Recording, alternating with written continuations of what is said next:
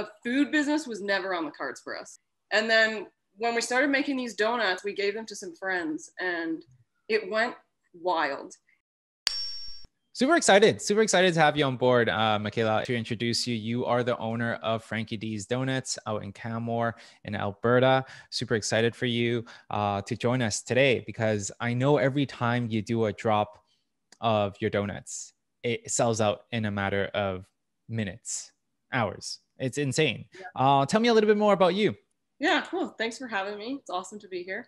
Um, just my wife and I started this donut business um, totally randomly. She started baking in 2019. She said that she wanted to get into starting get into baking. And the first thing she baked was donuts, which I think is totally random because like if you're gonna start baking, don't you start with like cookies or brownies or like a cake or something like that? something a little easier. But she started with donuts. We loved it. Our dog Frankie, she's a Labradoodle. She went totally crazy for it, obviously. Loved us being in the kitchen more. And fast forward a few months, um, I was on the phone with a friend and she works in a kitchen out in a tiny town in Manitoba. And at the very end of the conversation, she was about to hang up and she said, Oh, I forgot to tell you, like, I accidentally started a donut business. And I was like, What? That's like the best sentence I've heard in my life. So I ran out to Fia Lynn, my wife, and I was like, okay, I think we have to start a donut business. Our town doesn't have anything like that here. And it just, I don't know how to describe it. It was like, it was a funny kind of random thing, but it also was there, there was this feeling that just felt like purpose. Like this was something we were meant to do. And as the weeks rolled on, we decided to name it Frankie D's Donuts after our dog because she's so obsessed with us baking. We started working with a, a recipe that this friend in Manitoba sent the altitude of being in the mountains totally changed everything about the recipe. So we spent a few months kind of tweaking and working at it and learning because we're total amateurs, but we ended up uh, turning into something amazing. And now we have so many raving fans of our donuts in our local town, all the way to like Calgary, Edmonton. We've had people from Ontario come and try them now as well. So it's insane. I, I am so proud of you. I'm really really proud because for uh, and for some of our listeners that don't know, you're you're one of our students in our program, and uh, I uh, it's such an honor to be able to work with you because you are you always take action right? You the stuff that we teach you're always like hey you know what? Next time you come with the work being done i can really see your passion in this trade. Well what a lot of people don't know is that you do not come from the food and beverage space. You're you're not. So um my background I, I first started in real estate and then i went into um, an executive role in another business that was really based on like retreats, workshops, events, online programs, online coaching. I was in that for a while and then I met my now wife and she has been in a similar industry doing events, workshops, um, business retreats, coaching, stuff like that, all online. Um, people would fly out to different events here, but very much in the coaching mentor type space. And um, she's had her business for 17 years. We kind of joined forces in that business and brought my talents with hers and created new programs and new offerings for our client base. So that's pretty much what we've been doing. I started going into the e-commerce type realm uh, a little while ago and started working on some different brands and ideas that I had. But a food business was never on the cards for us. It was never something we talked about. It was never something that was like a plan for us to do. We just thought, we were going to continue with our coaching business. We were going to continue to move into e-commerce in a bigger way. And then when we started making these donuts, we gave them to some friends and it went wild. And honestly, it became, it started with this little feeling that has grown now. And I was talking to a friend the other day that feels like we are obligated to make these donuts now. Like we have so many fans and so many people that love them. We've converted people that don't like donuts into now donut lovers which I'm super proud of. And so it feels like this is definitely where we want to go in the future. I, I love that. And the reason that uh, because I know that story, it is so inspiring because it's always the other way around. And what right. I mean by that is like people that are in the food business and everyone's raving about how how it's just not that sexy quite frankly like food business is just not that sexy and like where the shiny stuff is is the e-commerce because everything's going online coaching uh, mentorship like all these stuff nice and dandy, it's shiny.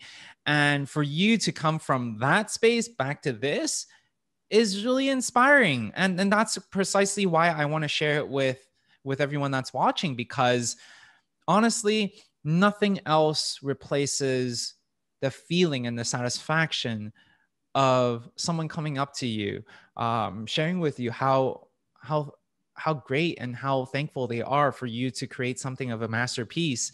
And God damn it, it's a donut. totally. Right. Yeah. And it, and it's like, oh Jesus, like I I'm doing something really good, and it's it feels so good inside. And this is like what true foodiepreneurs have. Nothing replaces that. Nothing replaces yeah. that. And no. really, it just feels like in the business and what we do in coaching, we really look at like who the person is, what are all the strengths and gifts that they have, and how do you put that into your business. And so we do that a lot with our clients. And I feel like Frankie D's Donuts has been like us um, awakening like an even bigger expression of our own gifts that mm-hmm. are like in the other business, but they just get to like come out in a more creative way here. And like it's so interesting to have to spend like we go in at 11 p.m. at night and then they pick up at 11:30 the next day. It's like a big 12-hour shift making donuts. We're totally exhausted. We might, you know, we think of quitting a few times along the way.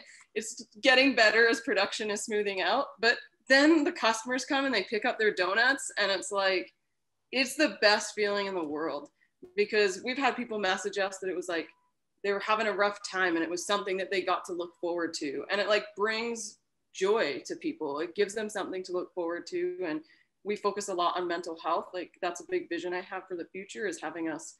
It's not just about the donuts. It's like that they stand for something, having something to look forward to, having these little moments of joy when life can get hard and busy and stressful sometimes.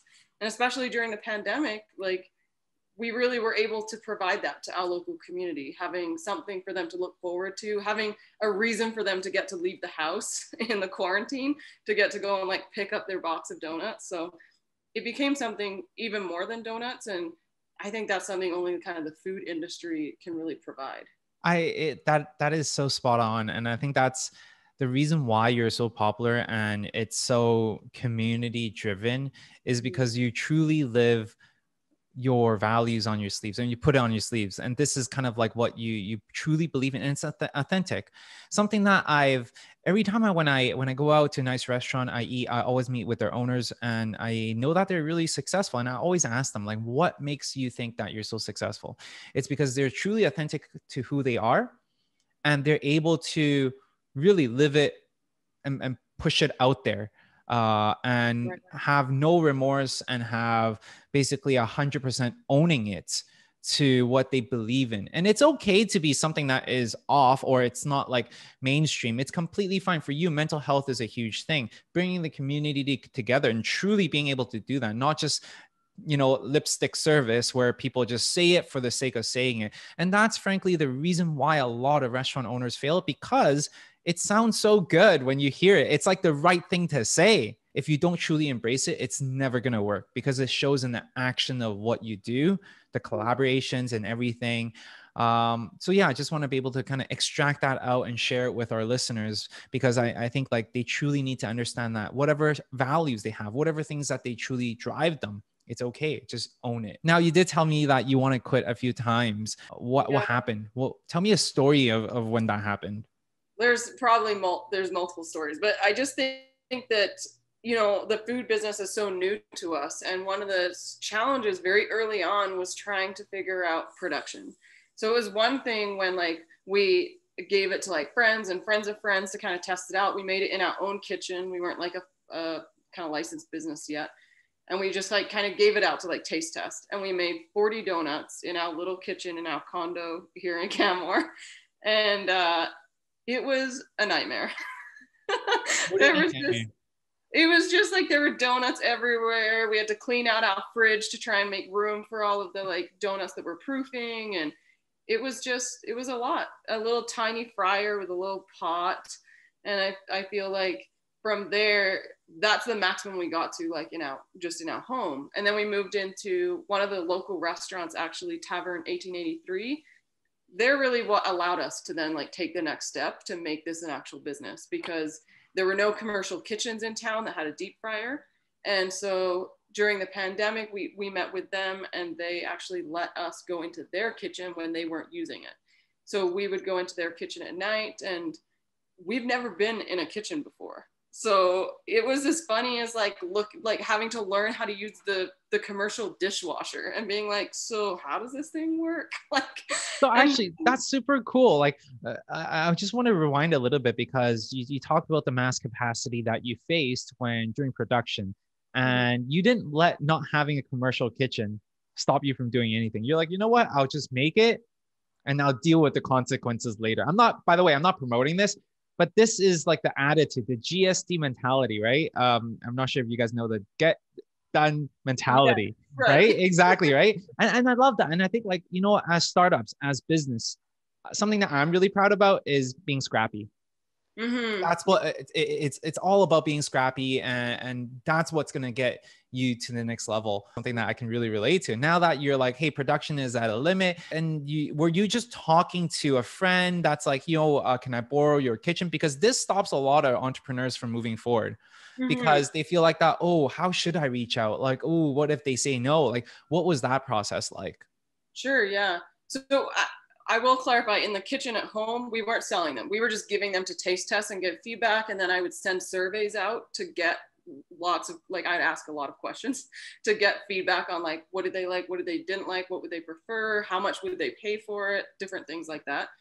And so we, we had talked to the town of Canmore about like what we would need in order to make this an actual business. And we actually talked about having it in the home, but knowing that we could only make 40 donuts in our little home was like, we knew we wanted to go bigger than that, like from the get go, because it's a process. Donuts take a long time. Like, so we may as well make more. So moving to a different kitchen, we, you know, I just started talking to friends and to the people that were tasting out donuts. I was like, yeah, this is this is the challenge that we're facing right now is that we need a kitchen with a fryer. The commercial kitchens don't have it here. We're looking for a restaurant. And it just so happened that my friend Maggie I was sharing this with her, the challenge that we were having, and she was like, "Oh, I know the manager at Tavern 1883. Let me let me message and give you an email introduction." And that was so exciting. We had a couple other restaurants we were talking to, but we went and met with the chef, and she was just amazing. Everything was just positive. It was like, "Yeah, we'll make it work. Yeah, sure. Yeah, sure." And so hmm. from there, we got all the permits. We just started learning how to be in a kitchen. She taught us kind of what to do, what equipment of theirs we could use, what we had to buy ourselves. And then we started getting ready for our first like official donut day. You know what? Before we go into the donut day, I want to unpack three things that you talked about that is so, so on point. First of all, it is understanding your customers understanding your customers and this is a huge lesson it's something that i always always preach even throughout our lessons and every call that i have mm-hmm. i'm like yo you got to find out what your customers yeah. are wanting. What do they need? Because at the end of the day the biggest mistake that we make as entrepreneurs is that we love creation we love making things and we always have something called the confirmation bias. What does that mean? That means that we only find evidence to support what we believe in and shut everything off. Yet when you're working in such a vacuum you're not going to be able to t- see what is actually the market telling you because as at the end of the day business is a solution to someone else's problem so without understanding mm-hmm. their problems how can we make a solution that is fitting to their problem so for you mm-hmm. when you first created that beta testing it is so smart because your customers are telling you what flavors they want, what uh, sizing they want,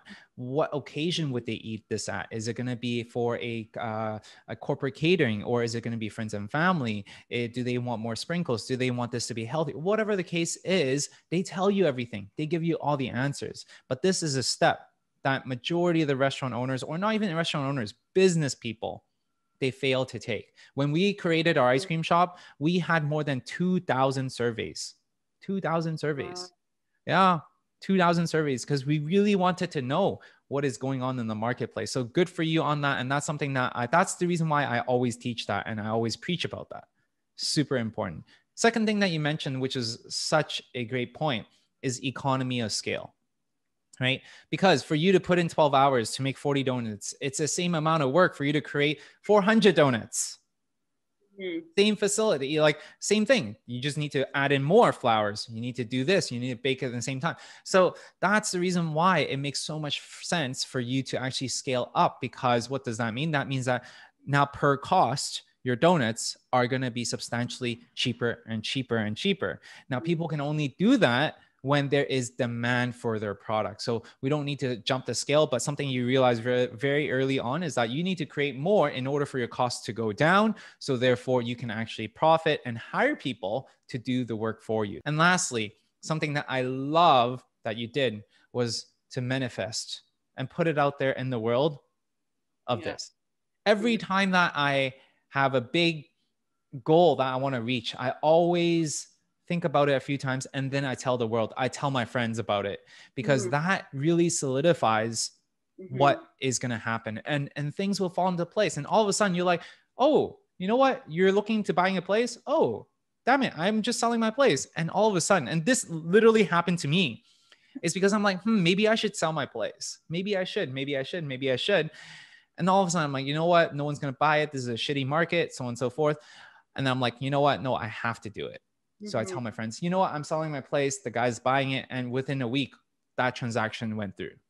Wow. Crazy stuff about being able to manifest things into and attract things into your orbits. Great lessons that you taught us. Thank you, Makaylah. Um, so on your uh, share with us on your first drop per se, and share with us what is a donut day drop and uh, and the the result of your first one. Yeah. So our donut days is essentially a day that everyone comes and picks up their donuts. So we right now we're doing like one to two a month um, until we move into a new kitchen soon, and then we're going to start hiring so that we can increase the amount we're doing. Because right now we're juggling two businesses. So the only way that this business can really scale and grow and we can make more and more donuts is if we hire.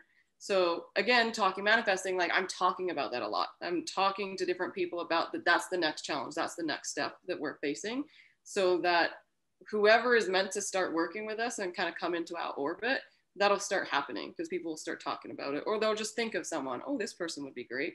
So I'm kind of just like putting it out there and waiting to see what happens because I've got a few months to go. So the first donut day that we did was August 20th, uh, 2020. So we're coming up on a year uh, anniversary here. And something we did from the very beginning is started an Instagram account. So we didn't have the logo yet.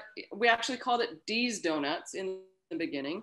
And it just, the profile picture was a little D that I made on Canva. That was it.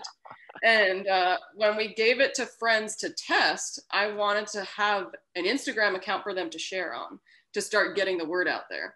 So I we sent them boxes of the donuts and I would write what the Instagram handle was at D's Donuts and I asked them to share if they loved the donuts. So they started doing that and we started getting this following. And it was only like a few hundred people. But then we would share that we were looking for a restaurant and that we found the restaurant and that the first donut day was coming. And then we opened up pre orders um, a few days before the donut day itself. So usually the donut day is on a Friday and we open pre orders on the Monday. And to our surprise, it sold out. It sold out within, I think it was within a few hours and wow. it was wild to me that people were buying these donuts because I had to go through, you know, what flavors were we going to do and figuring out what price they were going to be. And then it started with people just emailing us their orders. And that went on for, I'd say about four or five months. People would email their orders from Instagram. And then we started building the online store and, and stuff like that because it took hours to take everyone's orders over email. So yeah, it's kind of progressed from there. And our donut days have sold out every single time as we've continued to grow our following and grow our production.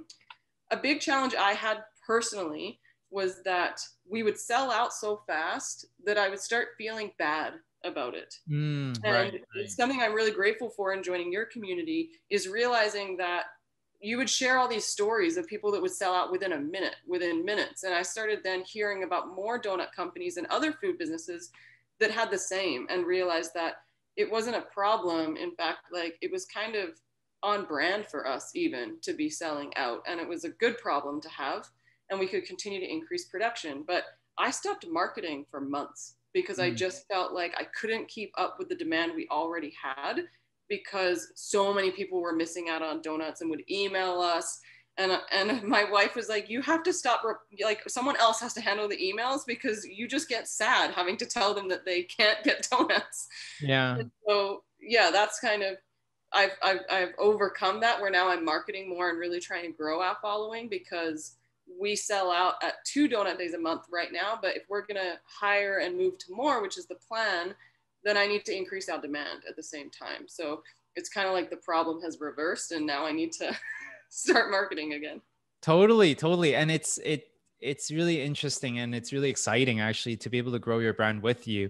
Uh, I mean, when you first joined uh, our group, uh, to be able to see you progress, it's really, really interesting uh, and and exciting uh, at the same time because you always come to our classes with so so much real life questions. You know, um, a lot of times when people like to ask questions when they're not in it yet and they're just like like visually thinking about things and you just keep asking questions about these stuff but you're you're so different you're like you know what i'm going to ask a question i'm going to implement take action and then come back to the class with new stuff um, so that's something that I, I really appreciate about you Great, thank you. Yeah, yeah, I definitely am learning so much, and it's just so cool to be a part of a community where we're all on the same journey. We're mm-hmm. all trying to like grow this food business and and make something that we love and have other people enjoy it like it's so meaningful so it's awesome. That's awesome. Awesome stuff. How would, by the way, how would you, how would you rate the community, the uh, community that we have built so far and, and the course that you've gone through?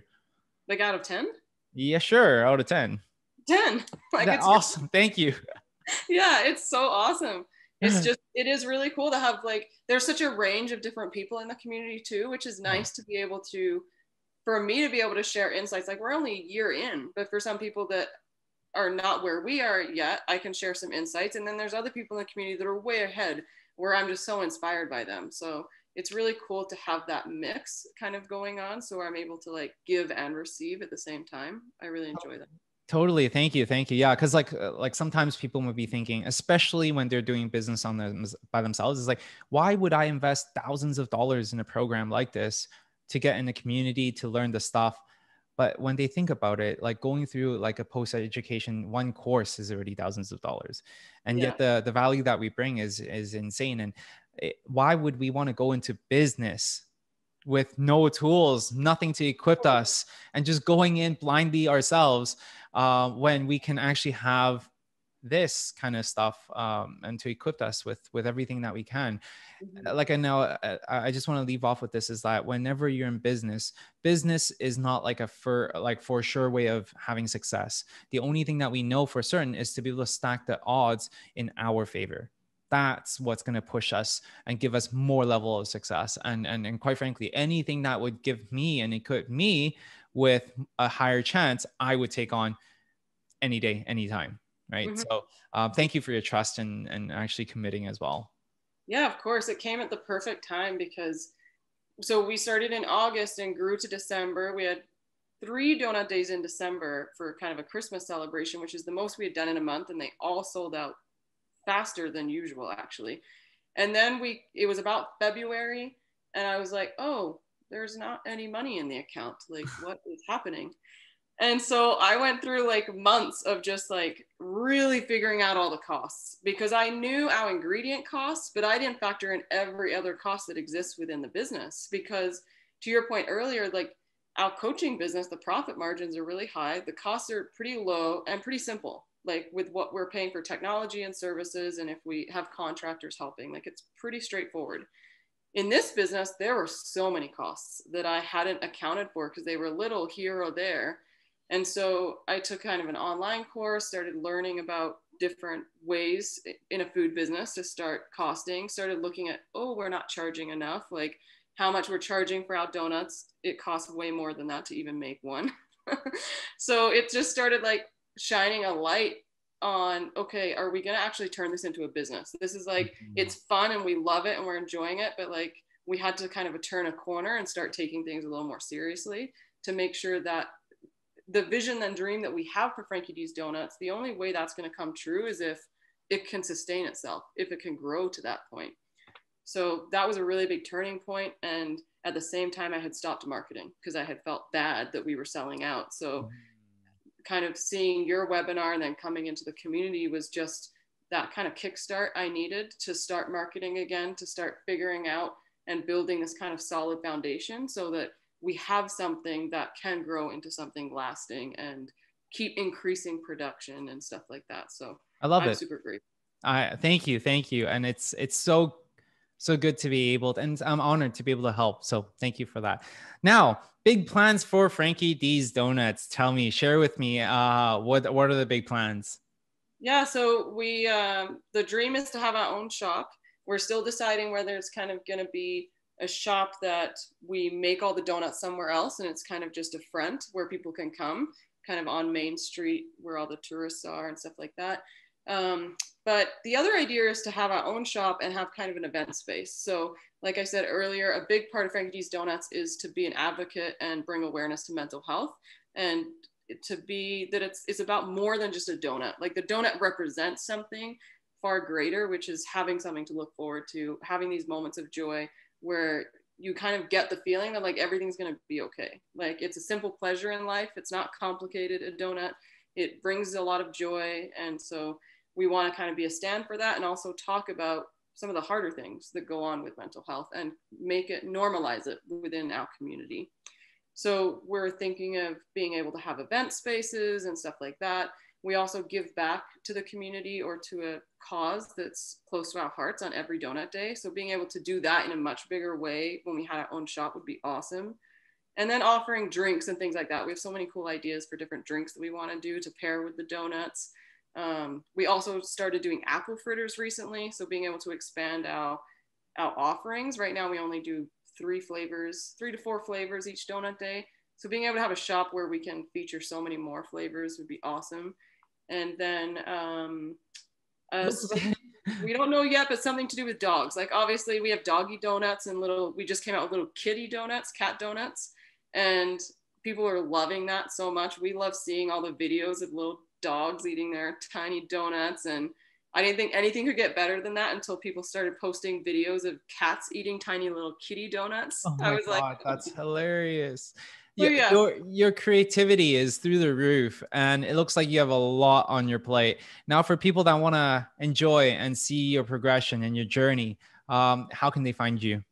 Yeah so you can follow us on instagram or facebook uh, frankie d's donuts. So that's frankie f-r-a-n-k-i-e d-s for d's and then donuts d-o-n-u-t-s or you can go on our website frankiedsdonuts.com or you can go into the link below and I'll make sure that I, uh, I, I link you up, make sure that sure. people can show you some love, go and follow Makaylah. She's the real deal. Um, yeah, I think that's it. Like, so thank, thank you. you. It's awesome to be here. All right. Awesome. Take care.